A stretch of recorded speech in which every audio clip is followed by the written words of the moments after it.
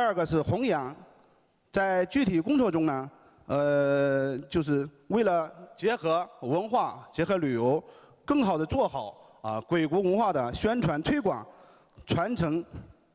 我们在实际工作中呢，主要做了一下五点工作，一个是联盟的推动，啊，就是全国十六家啊有鬼谷遗迹啊鬼谷呃文化记载的呃景区。啊，遗址组成了啊海峡两岸的鬼谷联盟文化圈，啊，实行了呃相互包容、互相尊重、资源共享啊共同的推广啊，这样呢就是在全国呃海峡两岸范围内呢，呃形成了一个呃推广呃这样的一个氛围。第二个呢就是旅游的呃弘扬，就是祁县呢有一城啊一城呢就是朝歌古城。啊，呃，一河就是《诗经·齐河》，啊，有三山，啊，三山是一个是云梦山，啊，是咱这鬼谷文化，啊，第二个是古灵山，是女娲文化，女娲文化也就是《封神演义》发生地也在朝歌。第三个是朝阳山，朝阳山呢是当时殷纣王行宫，啊，当时是殷纣王的行宫，就是一河。我们祁县呢每年的旅游，呃，总游客是三百六十万，就是我们结合着。啊，结合着呃云梦山呃鬼谷文化啊，让更多的游客来了解、感受啊我们鬼谷文化，来弘扬、传承鬼谷文化。第三一块是鬼谷的呃鬼谷子的实景演出。呃，去年呢，二零二零一六年，我们探索了啊鬼谷子的实景演出。呃，同时呢，我们探索了这个梦回战国啊这样整体景区的打造。第三呢，我们探我们探索了鬼谷草原文化节，啊，从这三个活动呢，啊，来提升，啊，让人让现在的游客，让现在的群，呃，群众看到实实在在的啊鬼谷文化。第四个呢，是我们也探索了啊鬼谷文化的一些应用，啊应用，我们也联合啊一些呃国学班，联合旅行社搞了几期啊鬼谷文化国学班。鬼谷文化经营企业班、鬼谷文化啊，呃儿童夏令营、冬令营啊，通过搞这个活动呢，让更多的孩子、让更多的游客啊来了解、来呃这个了解啊鬼谷文化。第四个呢，就是我呃不是第五个呢，就是我们也感受了呃完善功能啊完善功能，完善功能就是今年我们这个呃呃作为旅游局啊也投入了。呃，一部分资金把我们八卦城与南天门之间的广场，包括北面啊瑶池宫前面的广场、停车场啊，进行了重新的修缮。这是第二部分，说的是弘扬。第三部分，我想说说未来。我感觉，呃，鬼谷文化的未来，呃，作为我们具体做旅游工作，一个是有两个目标，啊，祁县的目标是一个是祁县云梦山要创建啊国家级海峡两岸。交流基地，第二个是作为鬼谷子传说，要创建国家级非物质文化、非物质文化呃这个遗产，因为我们云梦山已经是省啊以及非物质文化遗产。然后呢，在这个重点未来的重点上，我想应该是普及和应用，啊普及和应用，在普及上普及普及上，我们希望啊能有下一步能做到。啊，下一面呃五个一，一个是希望能有一部啊反映或者是呃宣传我们鬼谷子的先世的电影，第二个我们希望有一部呃能够宣传我们鬼谷子的电视剧，第三个我们呃这个我们要做，今年我们要拍摄一部啊鬼谷子的 VCR 短片，第四个应该有个鬼谷子的宣传手册，第五个。就是一个鬼谷子的学前教育。读本这是我们这未来说作为普及啊教育，我想有些具体的载体。最后呢，真诚啊欢迎啊大家到祁县云梦山，到混元师傅倾注了大量心血，让我们真受真正感受到两岸一家亲的祁县云梦山中华第一古军校来做客，谢谢大家。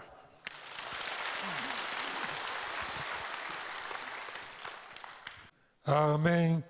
呃，极限的很多朋友都做了很多事情，我们谢谢他们，呃，也接受他们的邀请，大家一起去啊。好，接着我们请蒋教授。蒋教授呢，他当过行政院的青舞会的主任委员，呃，他也在淡江大学呃服务，所以他呢，呃，他是比较科技方面的。可是各位看这次的书里头，他写的是非常有深度的鬼谷子的东西。他还有他一提就提三个题目，所以呢，第一个题目已经教了，现在开始要写第二个题目，第三个再写三个题目。有一就有二，有二就有三，无三呢就不成理啊！三篇文章啊，谢谢我们请他，谢谢欢迎。啊，师傅和师母安好。院长，呃，各位贵宾，各位先生女士，安好。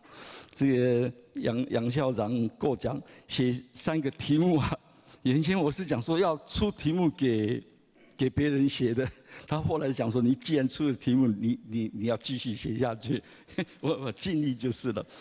呃，师傅讲说天下一家亲，两岸一家亲，啊，的确是这样。那每次看到从啊，大陆来很多学者、很多朋友呢，都觉得格外的亲切，像亲人一样。那么，两岸共同来推动鬼谷子文化呢，那意义深远，将来的影响也必定会很深远。那么，对两岸的和平一定会做出贡献。那我今天很简短的做一点报告的是，应用现代的。数位载具跟数位内容来推广鬼谷子的呃交流文化的交流合作和发展。那载具呢？你看我们古时候要旅行从甲地到乙地去，那只有靠两条路走路，两条腿走路。那后来呢？也有有有有汽车，有飞机，那。多么方便！刚才林教授呢，听说才参加完正大的会议回去了，结果又飞回来了。如果不是有飞机，不要讲说走路了，你坐船恐怕两个礼拜也不一定赶得到。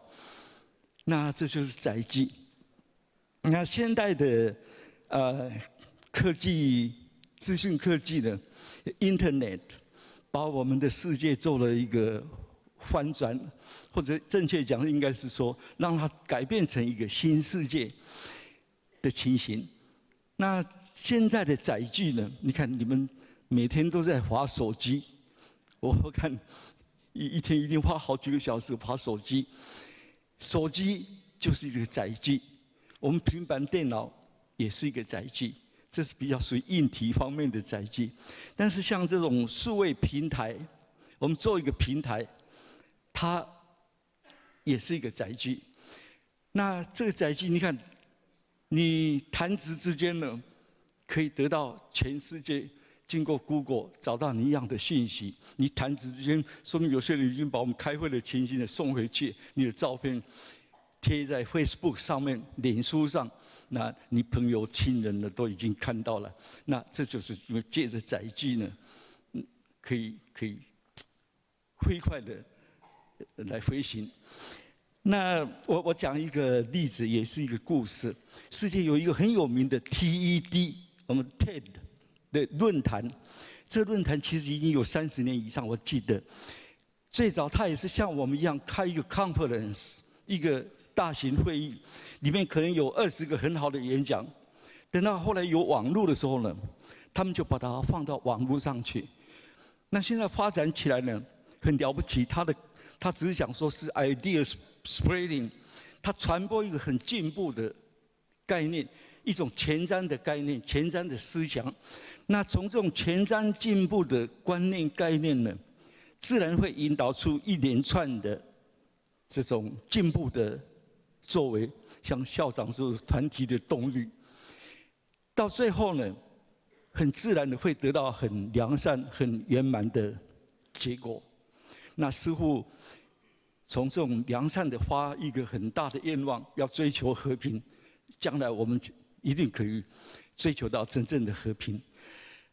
那么是这样，这个它是集合美国，它主要是原先是在美国，现在已经世界各地都有了。TED 也有 TED 台北，它集合呃人文、社会、医学、科学，反正各方面的顶尖的学者、专家，他认为是是是是思想家，是实践者，他们叫做 thinker and doer，就是不只是想说。创造一个思想，他还帮忙大家来做。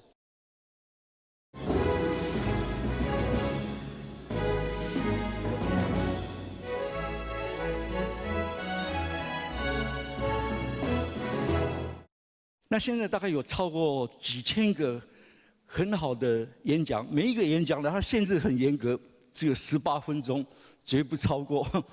那么你们如果现在到网络上去，三十年累积下来。哈，看到非常棒、非常精彩的演讲。那我当中只是举个例子，它产生多大的影响呢？其实我已经十几年前看到这个这一次这个演讲，后来我 我有注意到它的发展，所以我就举个例子，一个叫做 N. Cooper，这是 N. Cooper 呢，他是一个营养学者、营养学家，但是他在一家大饭店里面当主厨。可是后来呢，他认为说我当主厨。还不如去关心小孩子的营养午餐。他发现美国的小孩子的午餐呢，大部分吃汉堡。他说这个很危险，很不健康。将来到他们到四十岁、五十岁的时候呢，很多胖子，很多是高血糖、高胆固醇，呃，反正毛病一大堆的人。那这种东西要花费国家多大的医疗的呃费用啊？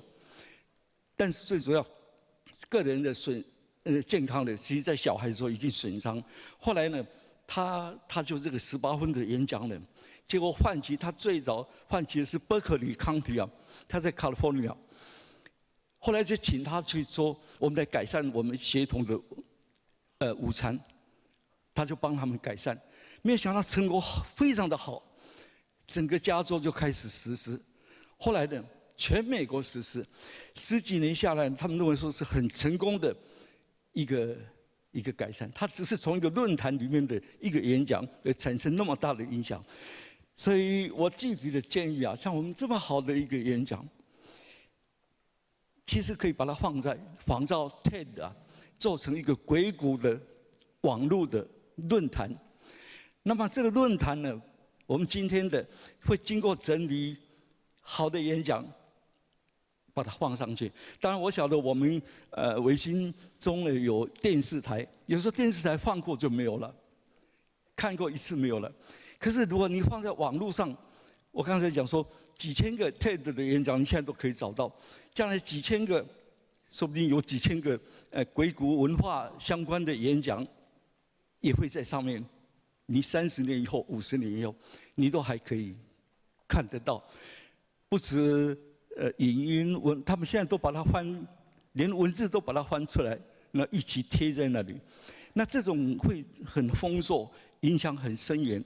那也不止在这里开，可能可以北京也可以开，几个大的地方都可以开。然后呢，共同把它放到这个呃硅谷的网网网络的论坛上面。所以我这是第一个具体的建议。那第二个呢？是这样，现在的社群网站，我刚才讲 Facebook，天天都在用的，也没有没有一天不用 Facebook，大概过不了日子。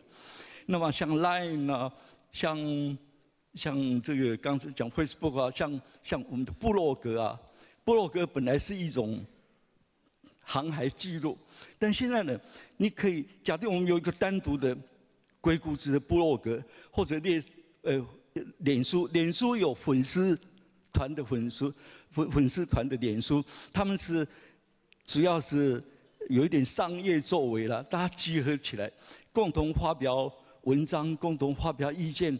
那么如果是呃布洛格，那更是了，固定的在这边，不同的人也不止我们这些人，说不定很多人也会关心鬼谷子文化，全中国的各个地方，大家都可以把文章贴上去。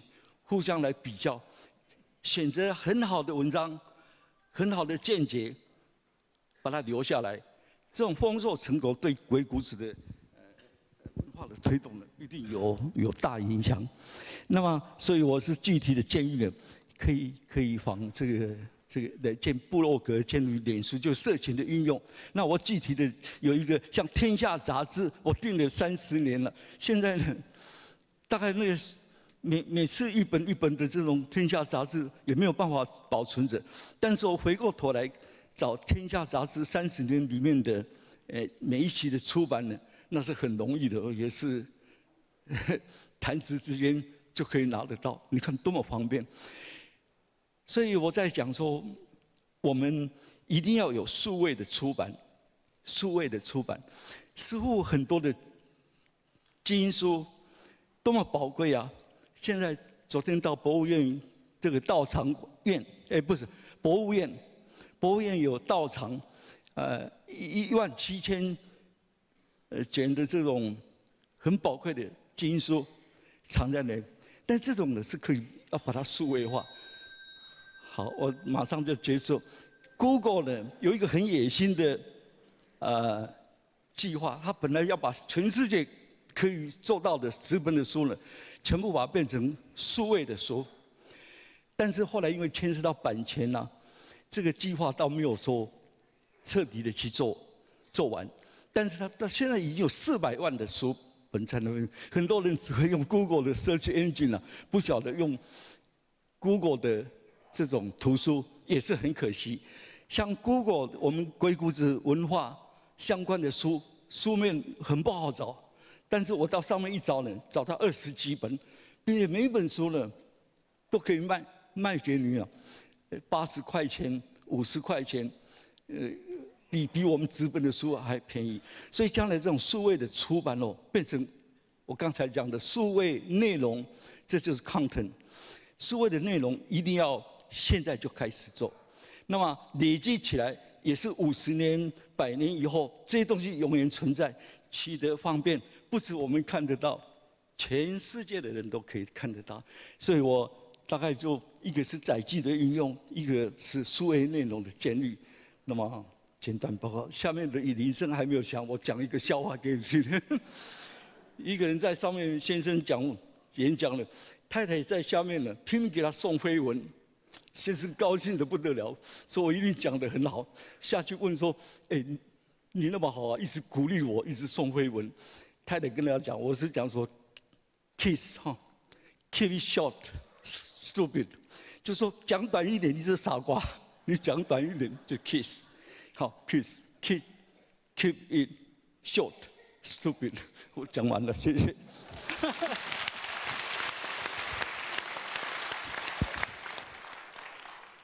我们蒋教授讲的最后的一一段所谓的笑话，我们的朋友当中，那就是蒋公，他夫人坐在那边就是蒋夫人，啊，呃，但是说呢。我以前书上写了一个 KISS 原则，KISS，K keep I it keep it，第一个 S super，后面一个 S simple，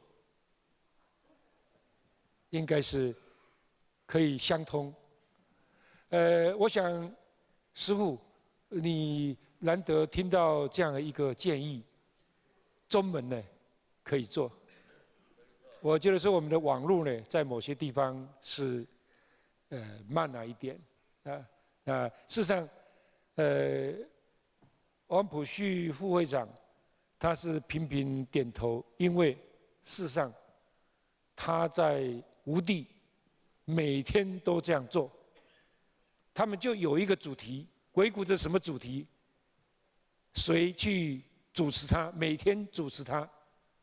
一个人去主持一个主题，发出去，然后就开始就是变成整个网络的就出现了啊！我想这个都可以，都可以，都可以，都可以参考。我们下面一位是来自于呃，来自于这个，我说他是哪里，我也说不太清楚，因为他原来也在台大，原来也在正大，现在去香港，又说呢是在香港要发展师傅的理念，在香港，所以我几乎每次都看到他都回来，也不太生也不太熟，因为我也在正大待了四五十年啊。好，我们请李教授。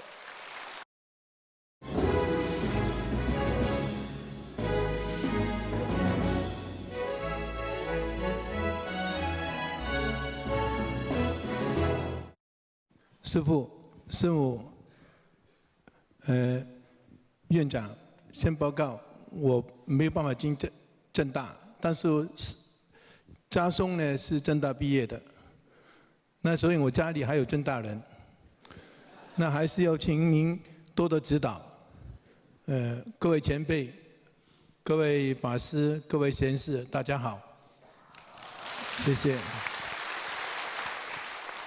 我的时间呢，应该是现在是三十八分钟，那给我就应该是四十六分钟就结束了。呃，我们大家看到阴阳一月最长生，可惜天理难分明。我一直讲的是若有真圣鬼谷子，一出天下定太平。但是去年开始，我们祭祖大典已经用今有。尊圣鬼谷子，非常感谢今天早上的主礼嘉宾林部长林林山先生跟师父请示，可否把这个“弱”字改为“精”字？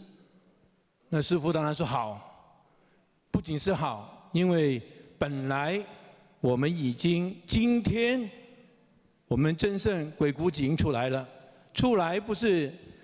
鬼谷子本身是鬼谷子的文化、鬼谷子的文明、鬼谷子系统，在台湾已经建立起来了。这点是师父您对中华民族、对全世界最大的贡献，谢谢。呃，鬼谷先生，我的大师兄，我的老师，王老师，启芳教授。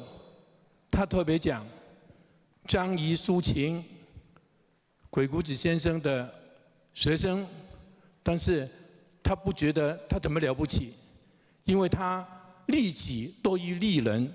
那那师父呢，不止利人，还是利人天，就利他的利人天了不起，天人合一。所以呢，我们今天的主题是古今今用。其实就是司马迁所说的“通古今之变”，才能有古今的那种智慧融合在一起。所以古至今用。那师傅呢是救天人之际，跟鬼谷先生天人合一。今天呢已经成年家基言了，所以今天整个的主题，尤其是王老师。这个很重要的，把师傅的成一家纪言呢，跟其他很多很多我们中门的学者专家一起，把鬼谷先生的哲学也好，他的理论也好，已经变成可以真的为天下定太平。这定的太平原则只有一个，就是他们已经一个是成一家纪言。在这个中华民族的文化里头，它是重要的一环。在世界的文化，不仅是文化，还是杨院长所说的，这个是鬼谷文化，还有鬼谷文明已经出来了。那这点呢，我特别在今天呢，呃，稍微做个说明。但是最重要的是往后。我们如何去做？因为一开始的时候，院长说，主席说，我们有讲，我们提出一些我们的看法。重点了，刚才最重要的，我们的《维新道状》一五六一五，第一本呃第一套在禅机山，第十套在安心道场。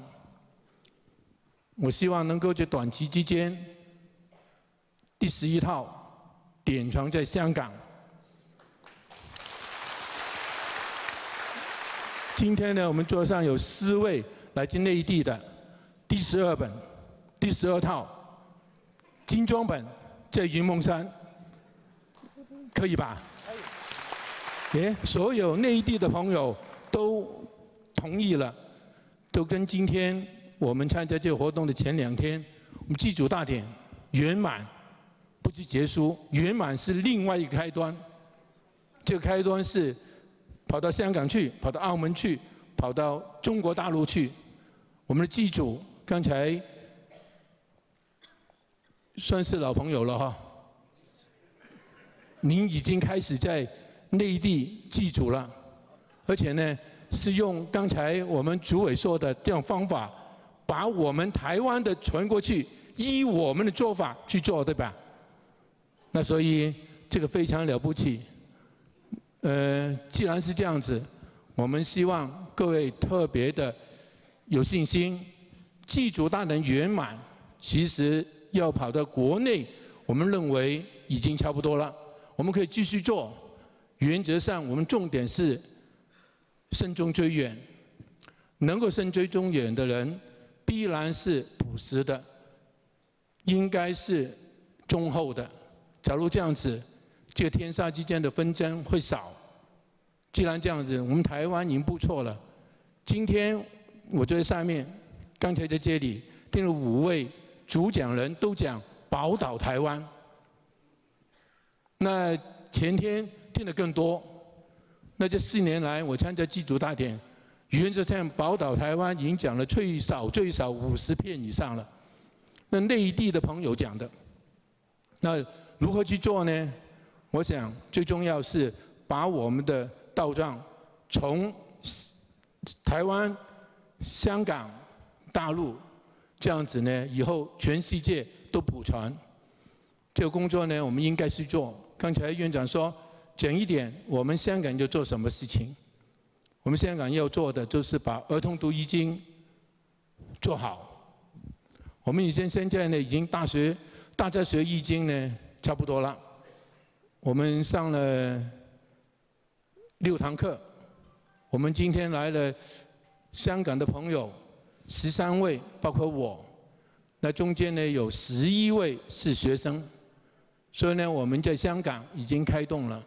昨天我们到了长基山去做实在的户外教学，那用了三个多钟头。我希望把这种的宝典。在香港、在台湾继续发展以外，在内地也去做。嗯，我们常说一句话，像我们的专家、喜剧的专家启芳老师，我们从六国年表说的，司马迁说：做事者必于东南，收公司者常在西北。西北就应该是我们云梦山。再往后退吧，那个应该是河南郑州祁县那边的地方，那所以呢，那个是古迹经用，应该不会错到那里去。好了，今天呢，我想时间还没有打响铃之前呢，《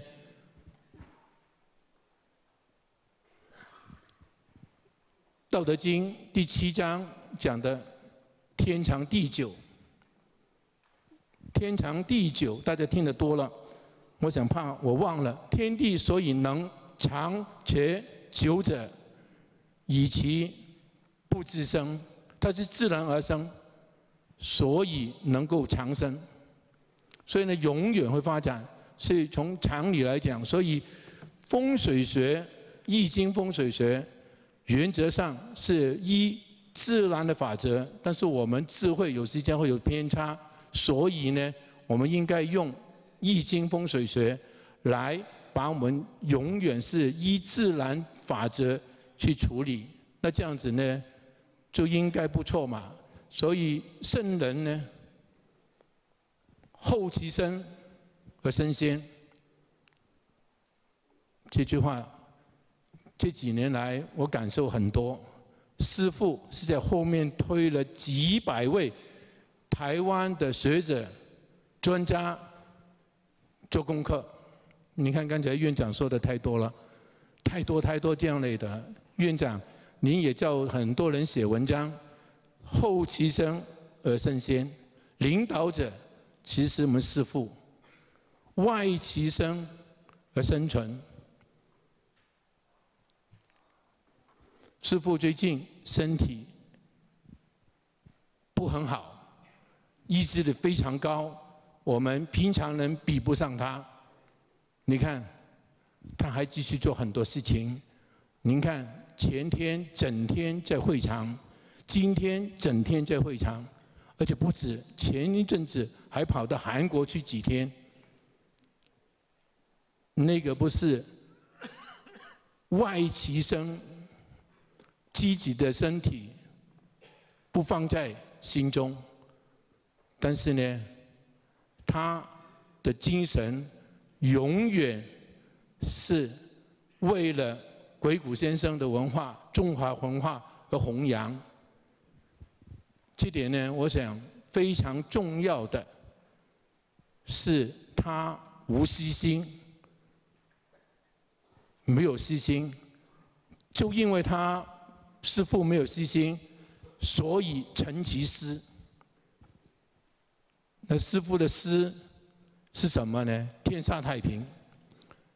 那天下太平以中国文化，鬼谷先生的鬼谷文化文明，影响整个中国文化、世界文化。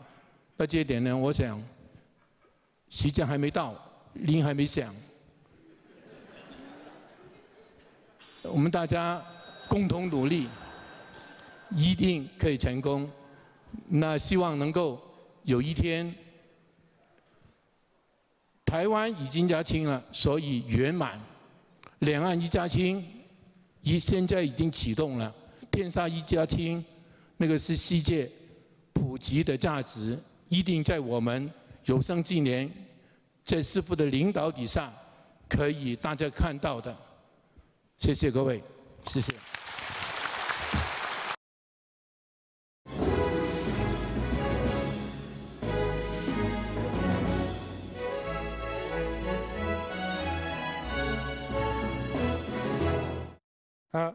我们下面一位，请施泽雄施教授。呃，就我的了解，早期在两岸还没有解冻的时候，呃，施教授呢，他以正大东亚所所长的身份，他早就呢是在从事两岸的学术的交流活动，他算是走过。我们很多人说去过哪里，你怎么说？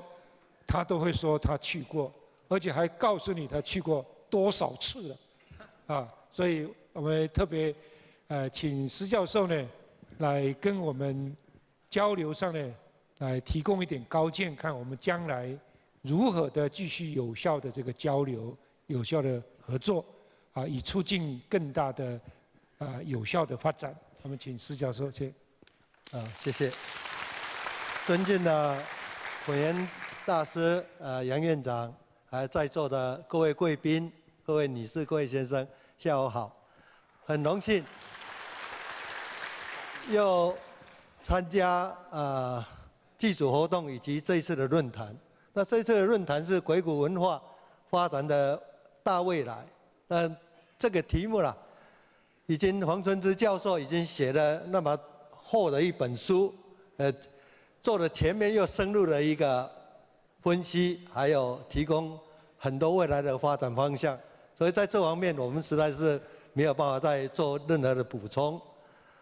那因为这个要谈这个未来的一个发展，那我就想到师傅啦，这个在祭祖活动这个维新电视台制作了一个影片，就从师傅从一九八二年开始。到现在的整个发展经过，那我这刚才呢坐在底下在看，鬼王王禅老祖左手拿了一个这个罗八卦罗八卦嘛，我就想到那好像是蜘蛛结网，这个蜘蛛网啊也是大概是这个样子。而且很有规律，好像也是八八角形来，我不知道了哈。这蜘蛛结网，那我就想到，从这里面就是说，师傅从一九八二年开始，慢慢的在台湾啊，从小一直慢慢的往外一直的扩张扩张。那台湾结这个网结好了以后，就到大陆去了，到大陆去，现在又到国际间。啊，这个网越越扩越大，所以我相信在师傅的领导底下，那么未来这个维新中的一个发展，一定是会扩展到国际国际间去。啊，这是我因为看到师傅的这个发展整个过程，而想到这个蜘蛛网，啊，以后相信在以师傅为核心的一个领导中心呐。啊，这个发展呢会更加的扩大。另外，就是有关交流方面，我都认为两岸可能政治上有一点可能会有紧张，但是呢，我认为民间的交流呃应该要继续下去，不管政治上是怎么发展。所以在座的从大陆来的很多朋友，你说我们之间。经过这样的交流，感情非常的融洽。你说会打起来吗？这不大可能吧？那有一次，又让我想起来，大概七八年前，人民大学一个学生团，有几位老师带过来，带过来了。经过大概一个礼拜得以交流了，回去他有一位老师写了一封信给我，题目呢我们会。打施施泽炯教授吗？啊，就是说经过这样交流那么融洽，怎么可能会等于说大陆会打台湾呢？所以我就想到，两岸对鬼谷文化的一个最终的目标是和平。那经过这种交流活动，大家非常融洽，那可能有助于啊未来两岸的一个和平。所以。我是建议，以后这种民间的交流啊，要定期，最好有一个定期的，然后这个临时的有有机会啊，多加加强一下啊。这个我相信会对未来的和平啊，两岸的和平是有帮助的。另外一个就是如何扩大这个维新中，因为。一方面要做研究，要做深入的研究；但另一方面，最终要把这个研究的结果应用在实际的一个层面。如果说，呃，举一个例子来讲，风水学，那么应用在实际的这个社会上，每一个人，因为应用的这风水学，使自己身体更健康，使事业更发达。那么，透过这些实际感受到这个风水学的一个成果，那么将会有助于整个这个维新中的向外的一个扩张了。所以说，金碑银碑啊，不如老百姓的口碑啊，千讲万讲，不如老百姓夸奖。所以，如果说老百姓呃应用实际应用这个风水学而得到了实际的一些注意了，那当当然是有助于这个这个维新中的一个以后的一个发展。另外一个，我是认为这个文化的冲突啦，往往是导致这个会威胁到和平。所以呢，对，因为世界有各种不同的文化，我们应该多了解。那最有名的大概就是说中西文化的冲突，就是像乾隆五十八年，马格尔尼要觐见来觐见这个乾隆，为了一个跪拜礼，那中国要求要三跪九叩，但英国不可能说这。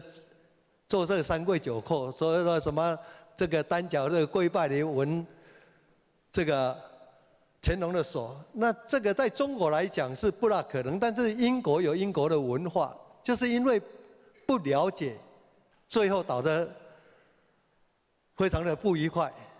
啊，当然还有一次是嘉庆二十一年的另外一次的觐见，也是搞得很不愉快。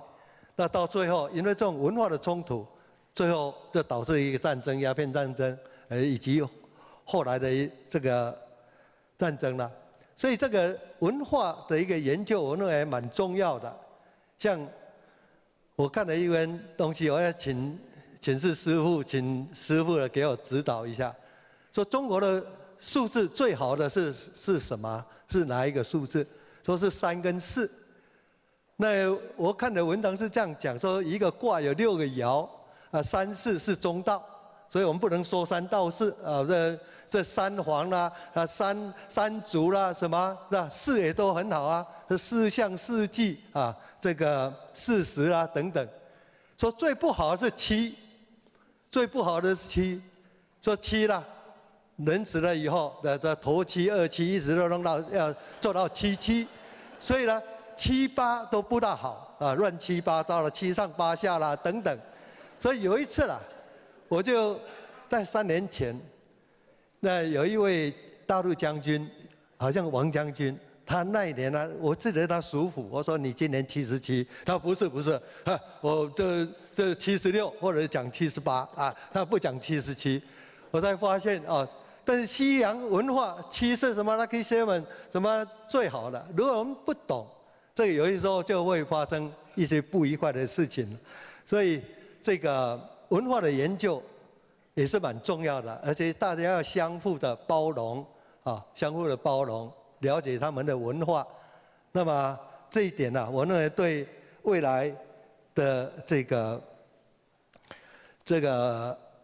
世界的和平恐怕也有一点帮助。那最后了，这和平在我看还是两个阶段。先和呃，刚才黄教授在提出来的时候也是提到经经济是一个基础，所以和呢，在我看是经济的发展，就是生产要大于消费，这个口比较小，和比较大。啊，在我看是生产要大于消费，这经济有发展，然后这贫。除了经济发展以外，还要贫，就是贫富悬殊不能太大，也当然也不可能是绝对贫呐。所以我就发现这个贫呐，平衡还蛮重要的。如果不平衡，那人就会跌倒。人为了跌倒，是因为不平衡。所以呢，各方面都要平衡，身心要平衡，营养要平衡。不管怎么样，不平衡都会出出一点问题。所以这个。经济还是这个和平的一个基础。另外，黄教授也提到，接着就是教育，教育方面要透过教育的一个手段，就是啊提升人的文化水平以及道德的水平，这个对未来的一个和平呢，恐怕是很蛮重要的啊。这师傅都已经点出来了啊。今天我就谈到此，谢谢。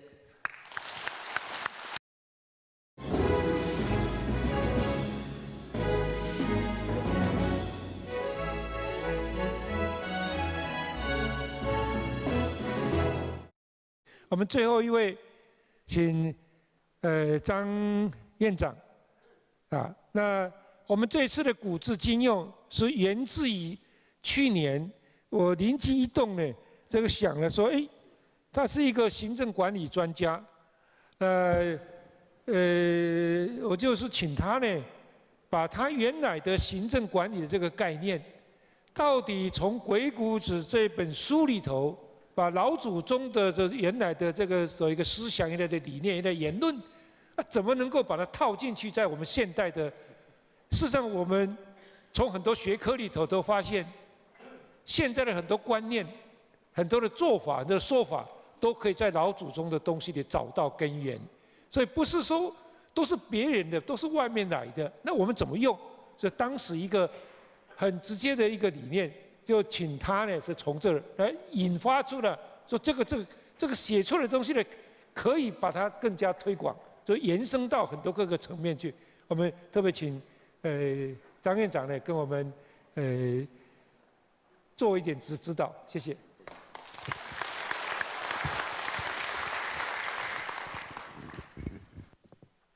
文言禅师师母还有我们主持人杨院长各位贵宾各位先进各位同修大家午安。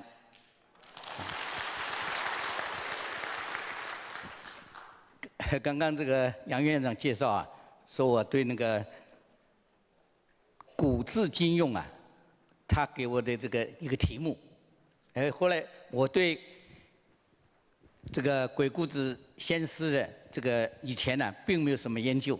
他指定这个题目之后啊，我就开始研读，哦，发现这里面的宝藏啊实在太多了，啊，所以我就写了一篇在如何在公共行政上。对我们的启发以及怎么样应用，啊，这是也登在我们这个第一集的书里面。那么今天现在我要讲的有两大点，一第一点是对我们唯心圣教、唯心中的这个呃怎么讲呢？一个了解的心得，啊，唯心中第一个我认为是唯心圣教融合万教。